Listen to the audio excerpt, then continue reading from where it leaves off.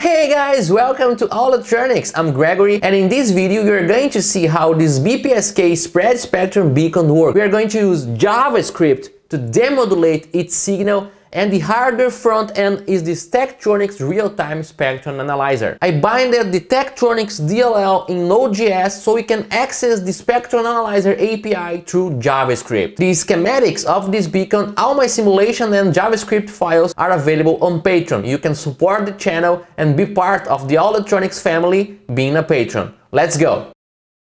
This plot here is showing the output of the early and late correlators and here you have the dispreaded constellation diagram that is being used to decode the data. We can see that the signal changes when I play around with the transmitter and if I turn off the transmitter it goes back to acquisition mode because it lost the decode sequence. With the transmitter turned off, the constellation collapses to noise because now all signals received by the antenna are spread by the software-defined radio correlation. If I turn on the transmitter, we're going to see the correlation going up and the receiver switch into tracking mode. Let's see. Let's go. Receiver switch to tracking mode. Now we are waiting for a frame sync. We already have data. We are waiting for a frame sync to lock in the message, okay?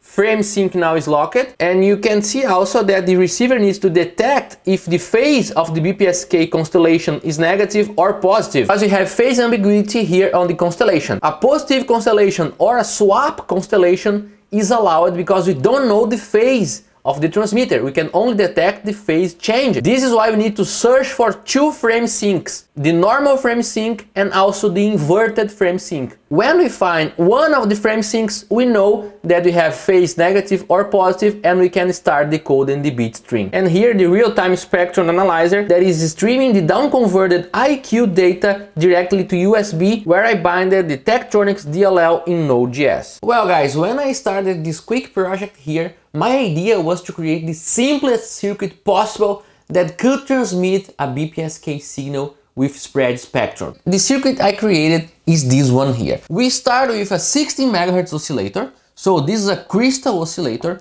that is generating the main clock of the system. 16 MHz in this case here. You can use other crystals to accomplish other output frequencies. The 16 MHz signal is fed to a balanced multiplier that multiplies this base frequency here. And we can choose the harmonics tuning the multiplier to multiply the signal to 64, 8, 96 or 112 MHz. All these values are harmonics of 16 MHz. And to simplify the circuit, I had this breakthrough idea here of using a balanced multiplier where the multiplier already outputs two different phases here. In this case for BPSK, 0 degrees and 100 degrees. So if the multiplier already outputs two phases, we can use two switches here, two diodes to choose what phase we are going to transmit. The signal is amplified and goes to the antenna. The two diodes are used as radio frequency switches controlled by this AVR ATmega88. The microcontroller have in its memory the 63 bits spreading code a table and it encodes the data frame with the spreading sequence inside in software. So it needs only to generate two signals here to turn on and turn off the two diodes, choosing which phase will be outputted to the antenna. I'm calling this signal here data plus and this one here data minus. Negative and positive data. When the bottom diode is switched on, we have one phase when the upper diode is switched on, we have the other phase. This inductor here is used to better match the antenna to the output of the amplifier because I wanted to have a pretty small antenna. So with the series inductor, I used the VNA to better match the antenna. This is the basic circuit, guys. The full diagram is available on Patreon, link in the description. You can support the channel, being part of the family electronics being a patron. So guys, we start with a common oscillator here, an inverter gate oscillator. We have the crystal crystal here and the phasing capacitors and this very fast square wave. This is important guys. Here in this node here, we have a very fast square wave that is rich in harmonics. So we fed this square wave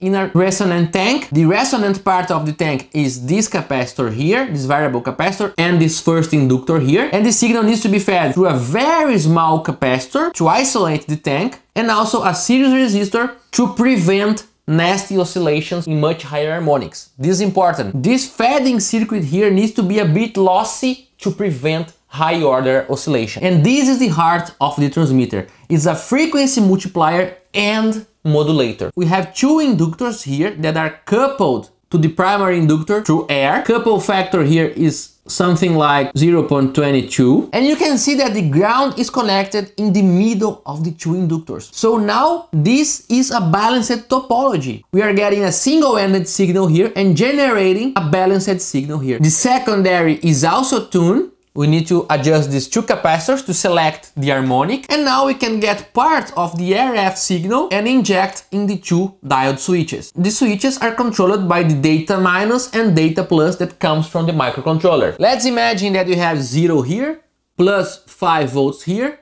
The upper diode will conduct through this path here and now this diode here will have a very small, small signal series resistance. Now the RF signal can pass through the diode. It is terminated at this 100 ohm resistor. This is important. This 100 ohm resistor here creates a termination to the tank, to the controlling voltage, and also to prevent oscillation of the first amplifier here. The input of this first amplifier here needs to be at a very low impedance to prevent oscillation. Now the RF signal, part of the RF signal will of course be lost in the resistor and part will excite the input of the first amplifier here. First stage here has a very low feedback resistance to control its gain, preventing nasty oscillations. After we can amplify the signal more and connect to the antenna. Here we have the inductor and, and also in the output of each amplifier we have a resistor to better match the antenna. Each resistor here is 150 ohms, so we get a total of 50 ohm feeding the antenna here. Of course guys, these logic gates are generating square waves and the only filtering we have here is the antenna. The bandpass response of the antenna is the only filtering that we have in the output. So this cannot be used as a commercial beacon because the output spectrum is not clean enough, but for experimentation it works really well. And guys, actually this is a challenge for you. Design a bandpass filter at the output to prevent all the harmonics to be transmitted in the spectrum. And of course guys, we need to take a sample of the oscillator pass through a low pass filter to isolate a little the RF going back to the microcontroller and we fed the clock of the microcontroller here. So the microcontroller is also clocked by the same crystal of the transmitter. So guys, here we have the microcontroller, the logic gate, the crystal and the frequency multiplier and modulator diodes here. We can see that the oscillator feeds the microcontroller serving as the microcontroller clock and it also excites the middle coil, the primary of the frequency multiplier, tuned by this tuning capacitor here. At each side of the primary we have two coils tuned in a balanced fashion with this tuning capacitor here, where the signals are taken and applied to the two modulating diodes, feeding the first RF amplifier here and being controlled by these two controlling lines here from the microcontroller. We have the series resistors to bias the diodes and also here we have a place for two capacitors. If we want to make pulse shaping, we can place two capacitors here. Control the pulse of the waveforms that switch on and off the diodes. Here we have the feedback resistor of the first amplifier, a chain of two amplifiers that fed the three parallel amplifiers of the output. Each amplifier has a 150 resistor, creating a 5th ohm output here that is matched to the antenna. This part here is not a real inductor, it is a choke, so it's very lossy, it's not good for this application, but it was what I had here in the lab. Here we have a 5 volt regulator, the header for programming the chip, and the construction of this prototype uses Matthias Widmer techniques using holes, drilled holes, and copper tape on the bottom to create very strong low inductance vias. So here we can see a via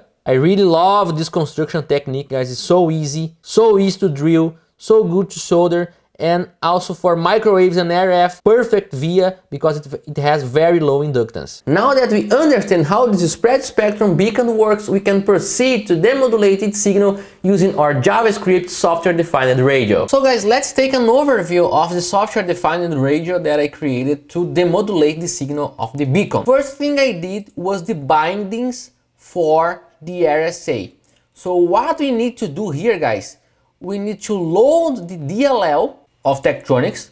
This is the Tektronix DLL and we also need to play a bit with the Windows kernel here to allow the dynamic loading of the Tektronix library. And here we define the bindings of the Tektronix API. So I got the documentation of the API and I created all the bindings needed here. So we have bindings to connect to a device, to search for devices. This is the device I'm talking about. We have functions to configure the center frequency, the reference level, because it is a real-time spectrum analyzer, so we have the center frequency, also real-time bandwidth needs to be configured. And here we have the functions to acquire IQ blocks of data, and here we have IQ string, where the API, where the Tektronix API strings for the application the IQ data in real time, so we can demodulate the signal as we saw in the beginning of the video. I started the project doing simulations and programming the software-defined radio using blocks of data. And after I got the system working, I switched to the IQ string system of Tektronix. Here we are making the bindings to the DLL and we also need to make some boilerplate code here. We need to create, we need to allocate memory, you need to copy data, copy the IQ block data from the Tektronix API, we need to have the functions to configure the spectrum analyzer. Here you can see one function where I need to allocate two doubles, I need to communicate with the API through the binding, and I need to dereference the data to get the values returned by the functions. So here I needed to create a lot of boilerplate code to be able to read the data. Here are the status bits, you can see here we have ADC over range, we have flags indicating that the buffers of the Tektronix spectrum analyzer are overflowing and a lot of other things. The next step on this project, guys, was to create all the blocks, all the components of a software-defined radio that we need to create this software here. So I created an AGC, an automatic gain controller. This is the class of the automatic gain controller. Here we have a delay line. Here we have the integrators and dumps. Remember, take a look on the video Link is in the description where I explain how the spread spectrum topology works. You're gonna remember that I explained about the integration and dump procedure. We have the linear feedback shift registers to create the sequences. So here we can, we can see we have a register, we've shifted the data. Here we need to calculate the feedback taps in a clever way here in JavaScript. We have the NCOs, take a look at these guys. The NCO is actually a phase accumulator, remember? So we have the phase accumulator, we need to up update the phase with the controlling voltage or the controlling signal. And here we need to simulate the overflow because we are using floats here in, the in JavaScript. And here you have functions to return the cosine and sine terms. We also have an NCO enable that is pretty similar to the NCO. We can see it here. Here we have the NCO enable and the NCO. The NCO enable is an NCO, but instead of generating cosine and sine signals, it generates an output enable signal. More like a clock divider. More like a clock divider and I use this enable signal here to control the linear feedback shift registers to advance the code sequence to the next code. This is why we need the NCO enable. We have a PI controller here, common PI controller, the, the error multiplied by the proportional constant and the integrator multiplied by the integral constant. Uh, I don't have here any integration protection here, but it works. And okay guys, now we can go to the code of the actually SDR where we're going to program the SDR functions of this spread spectrum receiver uh, uh, indeed. Take a look here, we have some parameters, ship height, the thresholds for acquisition, thresholds for, fa for fail of tracking. We have the main IQ AGC, the six integrators and dampers. We have two linear feedback shift registers, one for tracking, where, where we create the early and late signals, and one is the punctual code, or the code that is correctly aligned. We have NCO for tracking, NCO for puncturing code, we have a loop for tracking, a controller, we have the Costas loop NCO here, compensating for carrier, recovering the carrier, we have a PI controller for the Costas loop. We have more configurations here, and we also have a bit synchronizer that needs another NCO and a PI controller, as I explained in this video, click here up in the balloon about clock recovery. Here we calculate the bits of the frame sync word, we have a lot more things here. We have the a class that I created to analyze the data, so I created a class called CSV scope that output the signals in a CSV file so I can analyze in Octave. Here we start to connect to the RSA API. We configure the, the spectrum analyzer. we check if it's going well here, and here we have the data. So we have this pull, pulling function here that is pulling the API to get new blocks of data. We need to check if the data is valid, if we have new data, and here we start the process of the, of the modulation, guys. First thing, we decode the two IQ signals of the spectrum analyzer, the I and Q. We fed the I and Q data to the gain, to automatic gain controller, so we need to control the gain of the signal and update the AGC so it can update the gain. Now we make the Costas loop signal rotation. In this topology here, I, am making the signal rotation, the carrier recovery compensation I'm doing in the beginning of the process. In, in the video where I explained the topology, I placed the Costas loop in the end of the topology. I feed back the signal back to the input where we have the IQ rotation. We need to update the linear feedback shift registers so it's so it's advancing in time creating new code creating the next code sequence we integrate the signals here you can see that we are, we are modulating mixing with the late the, the early and here we are mixing with the punctual code we calculate the Costas loop error for a BPSK constellation and we update the Costas loop code the Costas loop controller and here we have the dumps, guys. Remember that we have switches that are dumping the output of the integrators. We need to dump the output, so we dump I and Q, and we dump IQ late and early here. We calculate the energy, and here we need to check if we are in acquisition mode and the energy is over the acquisition threshold, we need to switch to tracking mode. Else, we need to advance the code to make a new integration to see if the correlation is, is high. And we keep repeating it until we find the correct code phase. And when we are in tracking mode, things are a bit more complicated.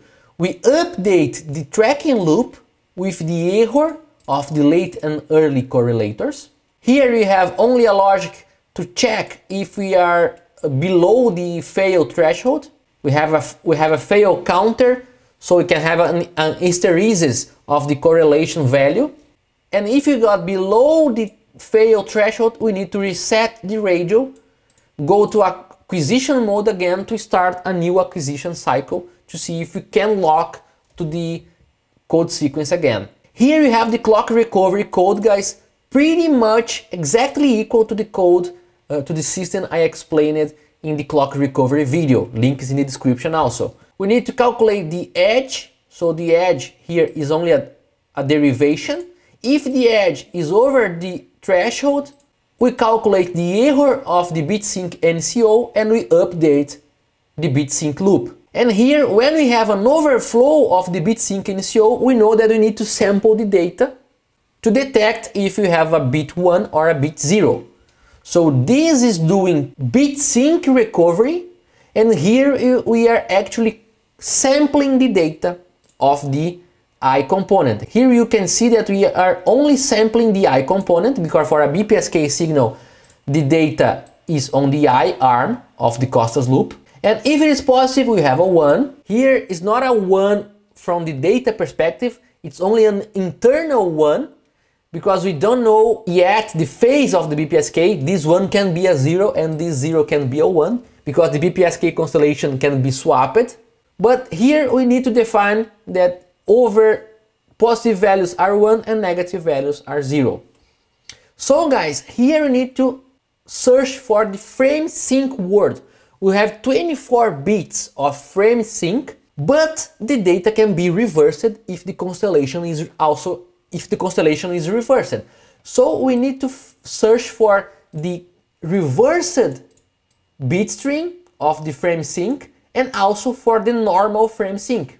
Okay, you can see here that we are searching for the reversed and here we are searching for the normal. If we detect the correct bit, we advance to detect the next bit. And we need to advance 24 times to know that we have found the frame sync in the bit string. If it doesn't match, we need to reset the counter and start counting again. So if one of the counters reach 24 bits, we know that we find the frame sync word. And now we know if the phase is negative or positive. So I need to register this data and start decoding the data. And here is actually the decoding process, guys. Okay? So look at this. The next payload byte is appended by the new bit or the new bit reversed if we have negative phase. So if we have positive phase, we only append the new bit. If we have negative phase, we need to append the reversal of the, the new bit. If the byte counter, if the bit counter reaches 8, we know we now have a new byte. And now we can output the byte in the console as an ASCII string character, uh, as an ASCII character in the console of the system. If we encounter, if the new byte is a zero, a null termination, or the payload frame is higher than the maximum number of characters, we know that we need to reset frame detector and start a new detection of a new frame sync to receive new data. And here we are saving some signals to analyze in Octave, and this is the software-defined radio, guys. If you want to have access to all my simulation files for this code here, you can become a patron. All the files are available on Patreon. So guys, I hope you enjoyed this video. If so, please subscribe to the channel. Consider being a patron of the channel. The link is in the description of the video. Give a thumbs up, send to your friends, leave a comment, and I see you in the next video of All Electronics.